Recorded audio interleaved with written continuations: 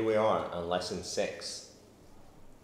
We've used one sensor so far, but now we're going to start to introduce more sensors.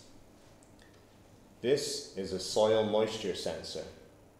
It has two prongs with conductive material on there. Basically, when it's inserted into soil, it's designed to check the volume of water within the soil.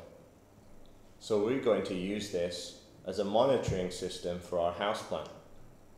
Perhaps we could give our plant a personality to let us know how it is feeling when it's not being watered. Again, we'll insert the Grove cable, then we can put it securely within our plant, making sure that the M5 doesn't get touched with the soil. The program that we're going to be designing in this lesson will check the level of water and display it on the screen. It'll also change the emojis based on the level of water. If the soil is dry, we'll get a sad face. As the soil gets more moist, the sad face will change to a happier face. Let's get started in setting up our program. As always, we're going to name our program. I'm going to call this Plant Monitor. Now, for this lesson, we're going to be using the earth sensor, which is a little bit more complicated than the PIR sensor that we used in the previous lesson. One fact is that it's an analog sensor rather than a digital sensor. Digital sensors, as we have seen, only output a 0 or a 1, whereas an analog sensor will put out a range of values. So we also need to use some more complex logic to deal with this. So let's have a look in logic first.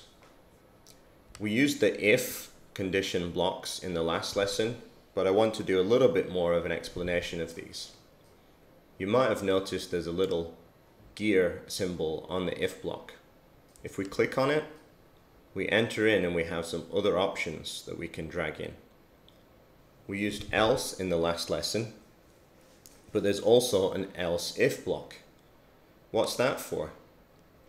Let's drag one in. Now once we've done, we can exit. So here now we have if, do, else if, do, and then finally else. So why would we need all of these ifs and elses? Sometimes in our program, we might want to check if more than one condition is true. For instance, in this program, we want to check the status of the water level in the soil of the plant. Maybe we want to know if it's a little bit moist, very moist, or completely dry. So we need a lot of if conditions to check. Also, we're going to need a little bit more complex logic. We use this equals comparator block last time to check if the PIR sensor was equal to 0 or 1. But as I said, we have a range of values coming from this sensor. So rather than using equals, it would make more sense to use a less than or more than comparator. So that then we can check, is the level of the water coming in from the sensor, is it more than 20 is it less than 50? Maybe we want to compare two of those at the same time. For that, we'd also use this block here, and. So it might start to look something like this. If water level is more than 20, and then we'll drag this into the first section of the AND block and then we can duplicate this here. And then in the second part we'll add a less than. So if the water level is more than 20 and less than 50 then do something. This gives us a lot more room for different values than if we just use an if high value and if low value we can then add different states for the plant monitor. So say for instance, we could add a very sad face for if the water level is extremely low. And then we could use an emoji to show off a mildly satisfied face when the level of water is adequate but could do with more. And then we can add a really happy face for if the water is completely sufficient.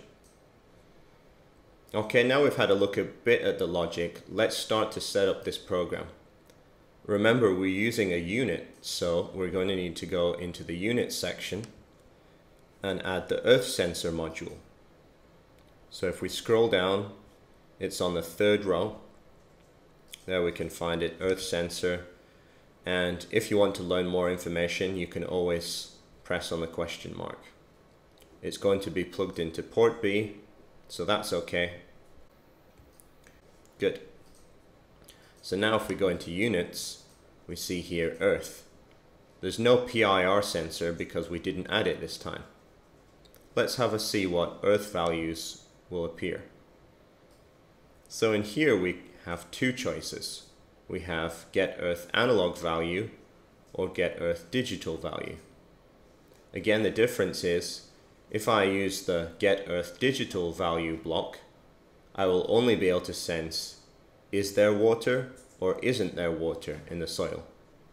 Not particularly useful for this project. It would be much better for me to use the analog value sensor because then I can check the amount of water that's in the soil.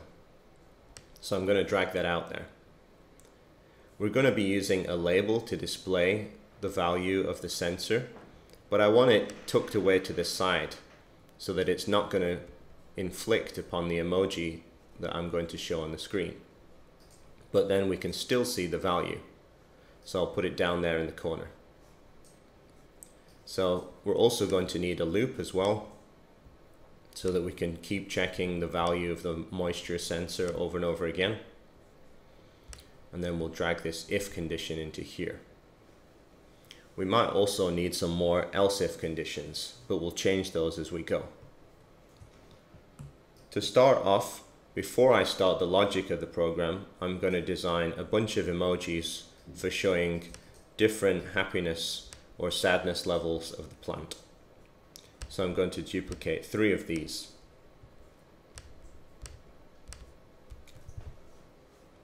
You can design whatever emojis you want.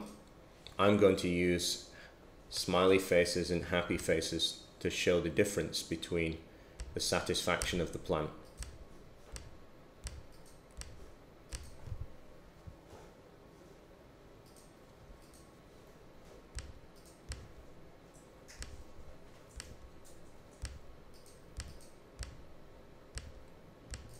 Remember, you can get creative and use whatever you like. I'm just giving you an example.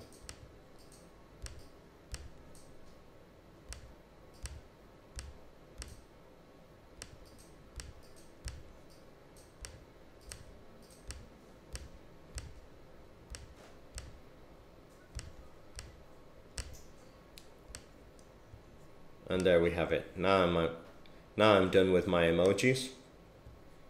I remember I said I wanted to show the value of the sensor down in the left hand corner of the M5 Go screen. So I've added a text label and I can go into UI to then drag that label in here. I'm going to put that in the first position of our loop and then drag this get earth analog value into that. Okay, now to get started with the logic. We're going to take this step by step as it can be a little bit complicated. First, we're going to have if condition. So the first if will be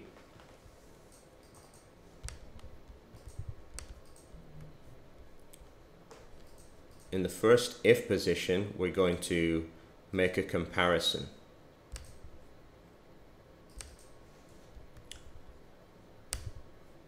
If if the analog value that we get is less than 20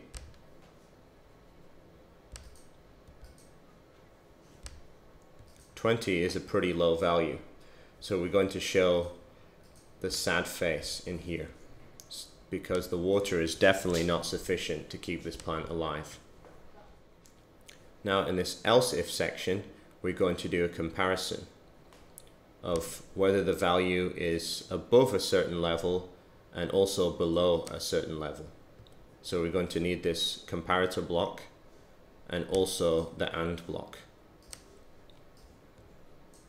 So first we'll put this comparator block in the first space of the AND block. Then we're going to check if the water value is more than 20. So again, we'll go back, get this analog value, then choose a more than symbol, and then we can just copy this from here. Okay, so now if it's more than 20, and we want it to be less a sort of middle, middle range value. So we could try 40 perhaps. So we can copy this whole block here and then just change the values as we need.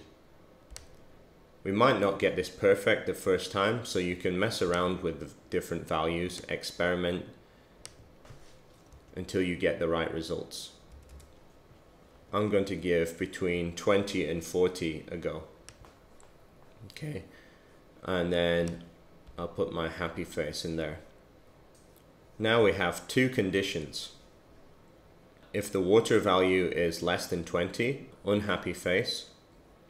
If it's more than that, then show the happy face. Okay.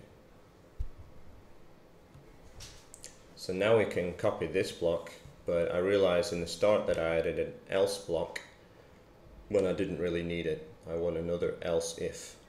So I can click back on the cog and then drag another else if in. And then I'll close that up. Now I can add this condition over here. This time I only want it to check if the input is higher than the max value. So I'm going to enter in 60. If it's more than 60, then display this super happy face. Okay, that's pretty much it for our program. Now let's do a quick test and see how it works.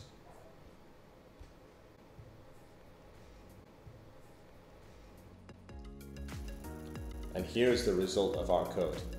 We've managed to create a plant monitoring system. Think of ways that you could change the code to give a different output. Perhaps instead of smiley faces, you could use the emojis to show a bar which will show the level of the water. Or you could change the RGB bar's color depending on the level of water. You could even use sound if you really wanted an obnoxious noise to tell you when to water your plants. It's entirely up to you. If you get stuck, Remember, you can leave a comment, send us a message, but we'll see you in the next lesson.